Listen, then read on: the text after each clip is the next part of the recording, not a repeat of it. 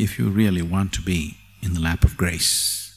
మీరు నిజంగా అనుగ్రహం ఒడిలో ఉండాలనుకుంటే మీలో కావలసిందేమిటంటే మీరు ఓ భక్తునిలా నడుచుకోవాలి. నటించడం కాదు భక్తి నటించేవారిగా కాదు. నేనింతకు ముందు చెప్పినట్లు నిజానికి ఈ చెట్టు ఎలా పనిచేస్తుందో మీకు తెలీదు. ఓ గడ్డిపూస ఎలా మొలుస్తుందో మీకు తెలీదు. ఇక్కడున్న ఏది ఎలా పనిచేస్తుందో మీకు తెలీదు. మీకు తెలుసా? తెలీదు. అందుకే మీరు ప్రతిదాన్ని చూడండి. ప్రతిదీ మీకంటే మరింత తెలివైందిగా అనిపిస్తోంది. మీరింత ముద్దయినప్పుడు ఇలా ఉండడం మంచిది. ఓ చెట్టును చూసినా ఓ పర్వతాన్ని చూసినా ఓ గడ్డిపోచను చూసినా దేన్ని చూసినా మీరు వాటిని ఎలా చూడాలంటే అవి ఉన్నవి ఉన్నట్లుగా చూడండి. లేదు లేదు నా శరీరం కూడా. అది నిజమే. మీ శరీరం గొప్పదే. మీ శరీరం మీకు తెలియని ఎన్నో పనులు చేస్తోంది. కానీ ఒక వ్యక్తిగా మీకేం తెలుసు? మీకు కనీసం ఈ గడ్డిపోచకు జీవం గురించి తెలిసినంతైనా తెలుసా? తెలీదు. అందుకని నేను చెప్పేది మీరు ప్రతిదాన్ని ఓ ఇసుక రేణువుకు కూడా మీకంటే జీవం గురించి ఎంతో ఎక్కువ తెలుసు. కాబట్టి ఇక్కడ మీరొక జూనియర్.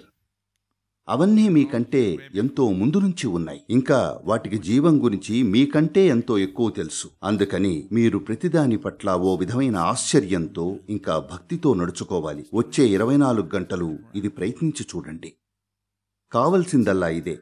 జీవితపు ద్వారాలు తెరవడానికి అవసరమైంది ఇదే మీ గురించి మీరు మరీ ఎక్కువగా అనుకోకపోవడం మీ గురించి వాస్తవం కాని ఆలోచన చేయకుండా ఉండటం మీ గురించి మీరు ఏం అనుకున్నా అది ఒట్టి అసత్యమే. Whatever you think about yourself is very untrue. ఎందుకంటే మౌలికంగా జీవం విషయానికొస్తే ఈ మట్టికి తెలిసింది కూడా మీకు తెలీదు. అవునా? సాధారణంగా అమెరికాలో మట్టిని వాళ్ళు డర్ట్ అంటారు. ఈ డర్ట్కు ఏదైతే తెలుసో అది మీకు తెలీదు. మీ మెదడు ఇది చేయలేదు. ఈ మట్టి అంత చేస్తుంది. ఇది నిజమేనా? ఇది నిజమేనా? మరి మీ చుట్టూ అంత పెద్దవారు మహామహులు ఉన్నప్పుడు మీరు వినమ్రంగా నడుచుకోండి. అర్థమైందా? ఇలా వెళ్ళకండి ఇలా నడుచుకోవాలి.